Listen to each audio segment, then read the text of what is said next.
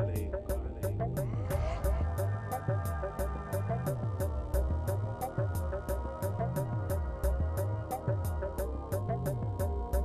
Assalamu alaikum. alaikum, alaikum. Another evening of learning Islam with Masjid As-Sabur Sacramento. My name is Haazim Rashed. I am the Imam of Masjid As-Sabur Sacramento. We are located at 4926 15th Avenue, Sacramento, California, near the corner of 15th Avenue and Stockton Boulevard. I'd like to welcome you to an evening where we're going to be discussing Bilal ibn Rabah. And bringing up a discussion of, uh, of Bilal ibn Rabah brings up a discussion of race, and it also brings up a discussion of the issue of slavery in Al Islam. So I just wanted to warn everybody, and it's going to be a very interesting evening. But as we always begin, we always begin Bismillah ar-Rahman ar-Rahim with the name Allah most gracious, most merciful. Ashadu an la ilaha illallah anna Muhammadan abduhu wa rasuluh. I openly bear witness that there is no God but Allah, and I openly bear witness that Muhammad is his slave servant and apostle. We also like to give the caveat all the good that we may say is from God, any mistakes are from me and should be corrected. Now, let's talk for a moment about the region where Al Islam originated. It's called Arabia. Now, Arabia is sort of a peninsula with the Red Sea on one side and with the Mediterranean on the top. We like to talk about it because that is where Al Islam originated. It's very close to Africa and it also connects all of the Mideastern crescent around the region. The reason I wanted to talk about it is because Prophet Muhammad, peace be upon him, began his message in the city of Mecca, which is in Arabia. Now, in the city of Mecca, Mecca was a trading town, so that Mecca had a lot of people going back and forth and a lot of very rich merchants who made money on the trade that was carried on through Mecca. The trade would go from Africa to Syria. The trade would go from northern Arabia to southern Arabia. It would go to Yemen. It would go all over the region. And so it's very important that we understand how much trade impacted everything. This also meant that there was a very diverse population in Mecca in comparison to the rest of the country. The population in Mecca consisted of freed people, enslaved people, Arab people, African people, and people from Yemen and other regions. The reason that I'm going through all of this is because I want to give you a little bit of background about the area when we began our talk of Bilal ibn Rabah. Bilal ibn Rabah was a slave. He was enslaved because his mother was a slave. His father, we're not quite so sure, but it is believed that his father may have been an Arab. But his mother was Abyssinian and was in slavery, so when he was born, he was born into captivity. Bilal ibn Rabah grew up in the Mecca area and became a servant of one of the major houses in Mecca. As a servant of that house, he took care of the goats, he took care of different activities around the house, he conducted trade activities, he did all of these things, and his I guess pay was basically being able to eat, sleep, and have clothes. So he had the typical life of a slave. During the time that he was enslaved, Bilal ibn Rabah heard the message of Islam. How did he hear it? Because everybody started talking about this crazy man with this crazy religion. And the more he heard about it, the more intrigued he became. And so finally one day, he went to hear Prophet Muhammad, peace be upon him. And when he heard the message, he declared his belief. He became a Muslim. Now, this was a big thing. Among the Arabs, a lot of people had become Muslim. And the basic thing that protected those people who were Arabs was that their tribe would protect them from being punished. But people who were not members of a tribe, slaves, people from other countries, etc., would be punished for their belief. So Bilal ibn Rabah basically became a Muslim and his owner was furious. You can't believe this because see, his owner was basically Umar ibn Khalaf. Umar ibn Khalaf was the head of one of the major tribes in Mecca at the time and had declared his opposition openly to Islam. So when he found out he had a slave that had adopted the belief that he said he opposed, he sought to make Bilal come back or renounce his faith. How did he do that? He tortured him.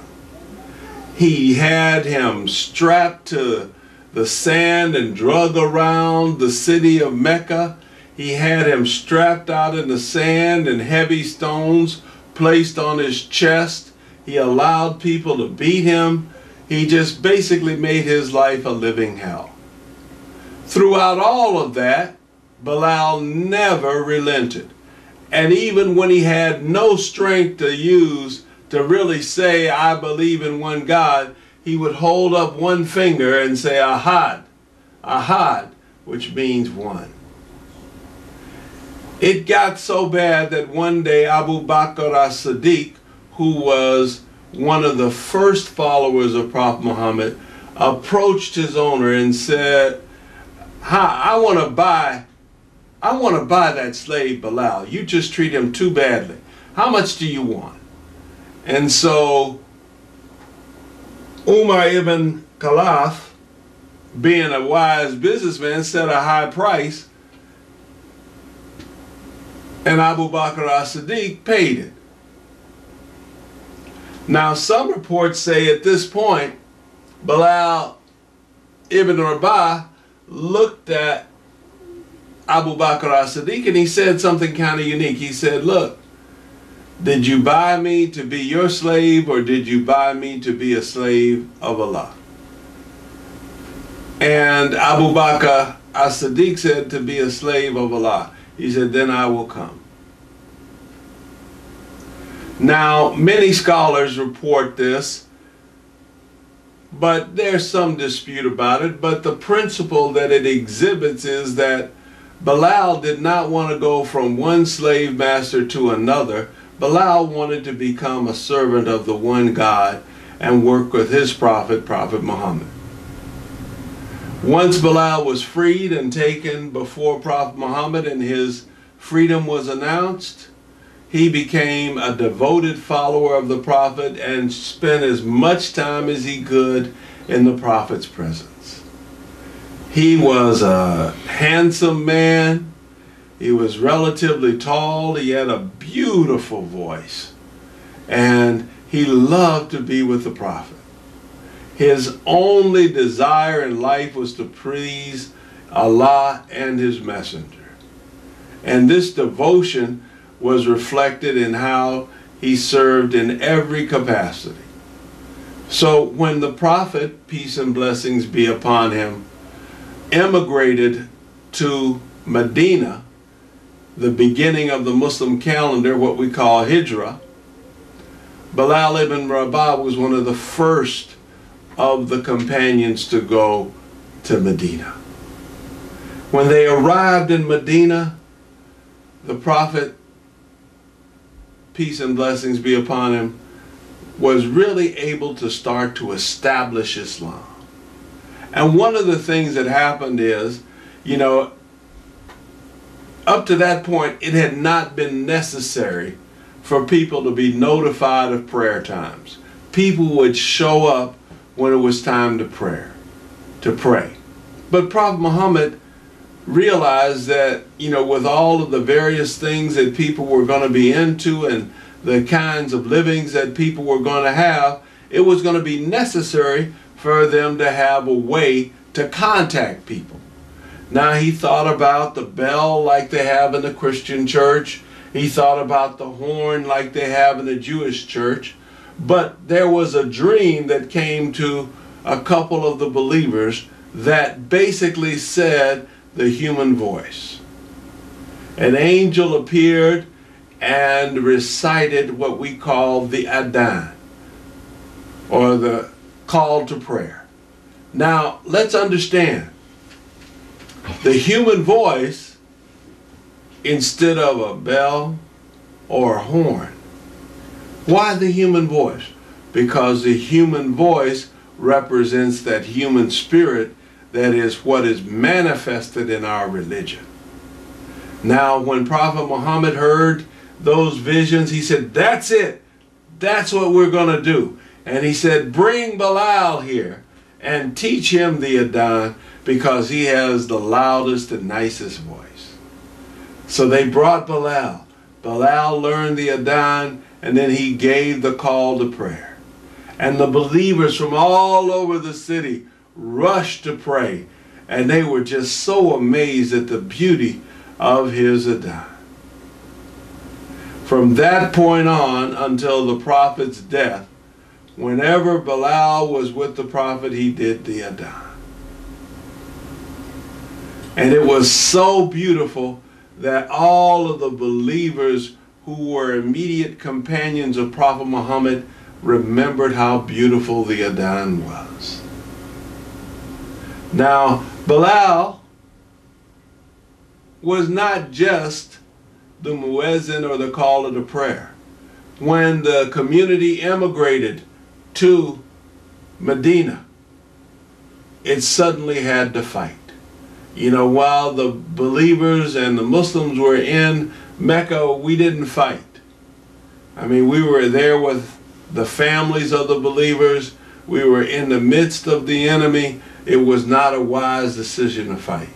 But when everybody emigrated, everybody left Mecca and went to Medina, then it became necessary for the Muslims to begin to defend themselves. And the very first battle that they had was what they called the Battle of Badr. Again, Badr was midway between Mecca and Syria, and Medina was close enough to cut off one of the caravans that was going from Syria to Mecca. Now, this is the kind of ground that they had to cover at that time stones, hills, mountains, all kinds of things existed there. You know, we often see these pictures of Saudi Arabia as being this beautiful sandy desert. That's parts of it. But most of the coastal areas and most of Saudi Arabia is more like this than a sandy plain.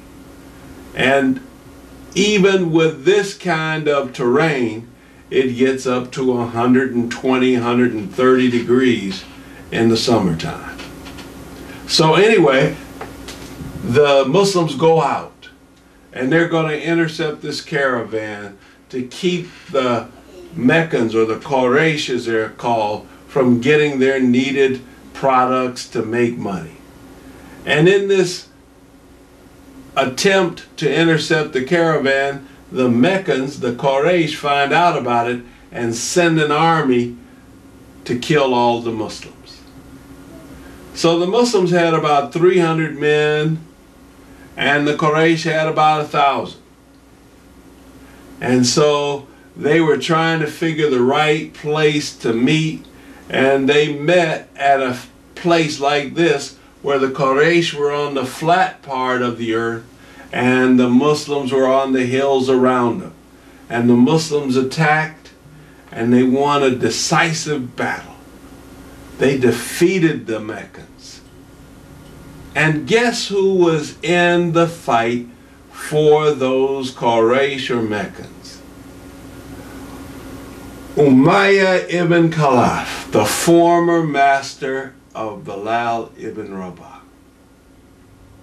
And when Umayyah saw that the armies were losing, he ran to one of the companions of the prophet and said, I surrender, I surrender. Because he knew that people wanted to kill him.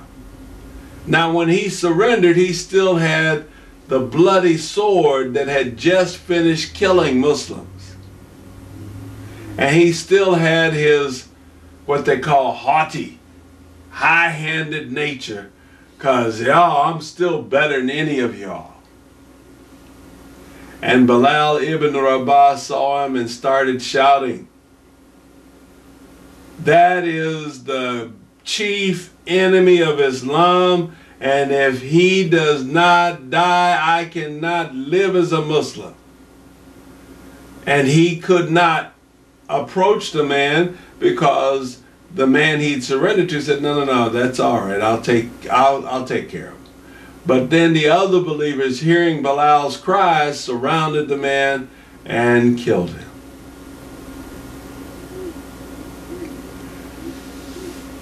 Bilal was so loved and respected by the Muslims that as the muezzin, he was respected. On the battlefield, he even became one of Muhammad's generals. And then when they got back to Medina, and Medina was actually making money as a trading center, and they had money that was in excess, the Prophet, peace and blessings be upon him, put Bilal in charge of the Muslim treasury. That's how much trust he had in him. And Bilal ibn Rabah took care of all of the needs of the Muslim community. He fed the poor, fed the weak, took care of the widows, took care of all of the people in need in the city of Mecca. He had a very powerful position. Now, the irony of this is that Prophet Muhammad had all of this trust in him. And Prophet Muhammad oftentimes talked about his love for Bilal and that he was going to see Bilal in the hereafter. Despite all of that, and the reason I say despite is because we have examples of racism coming out even then. And how did it come out? It came out when one of the companions, another one of the companions, talked about Bilal's mother. Now, wait a minute, wait. I come from a culture where when you want to fight, you talk about somebody's mother. So here's one of the Sahaba, Abu Dhar, may Allah be pleased with him, who reproached Bilal about his mother saying, Oh son of a black woman. And this so upset Bilal ibn Rabah, may Allah be pleased with him, that he went to Prophet Muhammad, peace and blessings be upon him, and he told him what Abu Dhar had, had said. The Prophet became very angry. And when Abu Dhar came, Abu Dhar didn't know that Bilal had told the Prophet what he had said. But Abu Dhar came towards the Prophet, and the Prophet, peace and blessings be upon him, turned away from him. Abu Dhar asked, O Messenger of Allah, have you turned away because of something you have been told? The Prophet, peace and blessings be upon him, said, Have you reproached Bilal about his mother? Then the Prophet said, By the one who revealed the book to Muhammad, or Allah, none is more virtuous over another except by righteous deeds. You have none but an insignificant amount. In other words, the prophet shut him down. And what he was reciting is a verse we're going to read now, which is from Surah 49, Ayat 13. As we begin, A'udhu Billahi Minash Shaitanir Rajim, I seek refuge with the rejected enemy. Bismillah ar-Rahman ar-Rahim, with the name of God, most gracious, most merciful. O mankind, we created you from a single pair of a male and a female, and made you into nations and tribes that you may know each other, not that you may despise each other. Verily, the most honored of you in the sight of Allah is he who is the most righteous of you. And Allah has full knowledge and is well acquainted with all things. Now, wait a minute. What is this saying? The distinction of color, the distinction of birth, the distinction of wealth, the distinction of everything is meaningless unless you have the distinction of righteousness. And see, Bilal ibn Rabah was one of the most righteous men in the whole community and among the Sahaba of Prophet Muhammad. So he was highly, highly respected. And he had been insulted. Now let us talk about what that means. This religion does not judge men by their skin color or any of those sort of superficial elements that we value. Is he dressed nice? Does he look like he got money? Etc. We do all of that as individuals, but as Muslims, we put that aside. Is this a good person? Is this a person that truly believes and manifests, shows that belief in how they lead their lives? That's the critical criteria for a Muslim. Race has nothing to do with it. Now, do we get wrapped up in race? Yeah, because we allow ourselves to be confused. And we live in this world where race is such a defining factor. People are so constricted by prejudice, so constricted by ignorance, that they say and do stupid things. But our prophet, peace and blessings be upon him, brought into his closest circle an ex-slave, a black man, but a man of character. And what the prophet saw was the man of character. Everything else was secondary. And so Bilal ibn Rabah loved the prophet, was one of his closest companions. He always did the Adhan. But after the death of Prophet Muhammad, he never did it again. Well, he did it twice. But he never would do the Adhan on a regular basis. And he left Medina because he said it was too painful to be where the Prophet lived.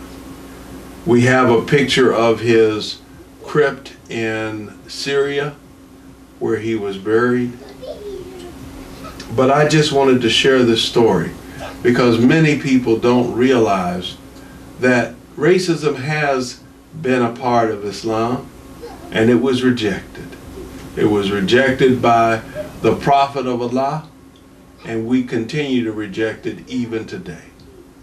As we close, I want to remind everyone we judge people as Martin Luther King said, by the content of their character. Now we look around and a lot of people with not much content want to use race as a substitute. Let us not fall into that trap. let us be convinced that the important thing that we bring to the table is the quality of our, our belief, the quality of our actions, and the quality of our faith. I want to close as I open with the greetings of all of the prophets from Abraham to Muhammad. And I want to remind everyone we are at Masjid As-Sabur Sacramento. We're on the internet, www.masjidasabur.org. We also have Friday prayer, 1.30 p.m. year round. We have the five daily prayers. Uh, we start with Fajr at 5.45 a.m. We have Dhuhr, Asr, Maghrib, and Isha. So come join us. Almighty God has blessed us, and we have been blessed by your presence. Thank you. Have a great evening.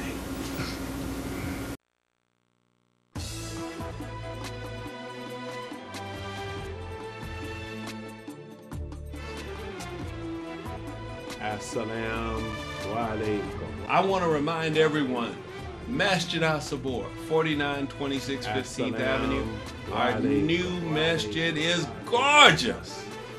We just finished planting over a hundred plants in front of the masjid. We just got through cleaning up the kitchen and getting ready to clean up all of the wudu stations. And we want you to come and join us every Friday 1.30 p.m. Masjid Sacramento. We are also on the web, www.masjidasabor.org. And we're on Facebook, so please like us. Again, we thank you for your patience and your time. We want to remind you that God truly has a message for you. And we want to remind you that we are here to give you any help that you may need. As God has taught us, He is a merciful God. As long as you come to Him and ask forgiveness, He will forgive you. So, no matter where you are in life, there is a hope for change.